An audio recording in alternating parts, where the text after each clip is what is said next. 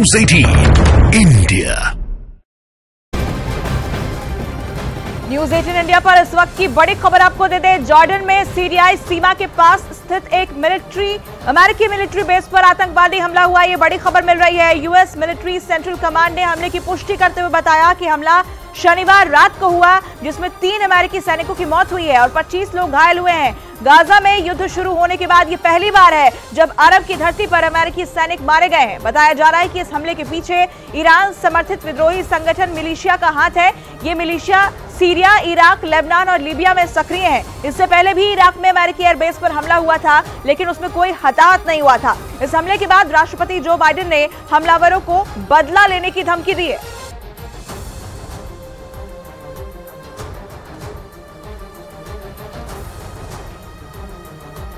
तो ये सबसे बड़ी जानकारी आपको दे रहे थे, जहाँ पर जॉर्डन में सीरियाई सीमा के पास स्थित एक अमेरिकी मिलिट्री बेस पर किस तरीके से आतंकवादी हमला हुआ है, तस्वीरें भी हमने आपको दिखाई, देखिए, तीन तस्वीरें आपको दिखा रहे हैं। जॉर्डन में यूएस मिलिट्री बेस पर हमला हुआ और ये जो इलाका हम आपको बीच की तस्वीर में दिखा रहे हैं, दरअसल यही वो इलाका है जिस पर हमला हुआ है। और साफ़ तौर पर जो बाइडेन की तरफ़ से कहा गया है कि देखिए, हमारे तीन सैनिकों की मौत हुई है।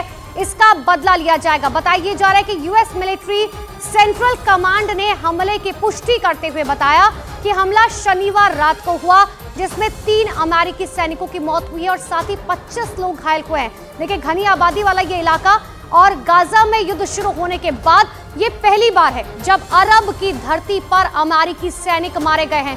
ये बहुत बड़ा हमला बताया जा रहा है। 25 लोग घायल हुए हैं। और साथ ही ये भी बताया गया कि इस हमले के पीछे ईरान समर्थित विद्रोही संगठन मिलिशिया का हाथ है। और ये मिलिशिया सीरिया, इराक, लेबनान और लीबिया में फ़िलहाल सक्रिय है। इससे पहले भी बात करें तो इराक में अमेरिकी एयरबेस पर हमला हुआ था। हालाँकि अच्छी बात यह थी कि उस वक्त कोई हताहत नहीं हुआ था, लेकिन इस हमले के बाद राष्ट्रपति जो बाइडेन ने बदला लेने की धमकी दी है।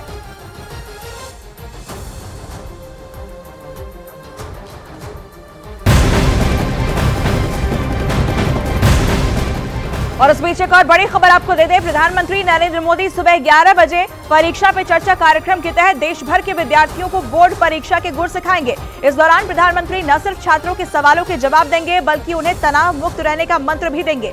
इसके अलावा शिक्षकों और अभिभावकों को भी परीक्षा की तैयारी से जुड़ी चुनौतियों से निपटने की सलाह प्रधानमंत्री देंगे। परीक्षा पे चर्चा कार्यक्रम में, जो की दिल्ली के प्रगति मैदान के आईटीपीओ में होने वाला है, उसमें दो करोड़ से ज़्यादा छात्र हिस्सा लेंगे। इससे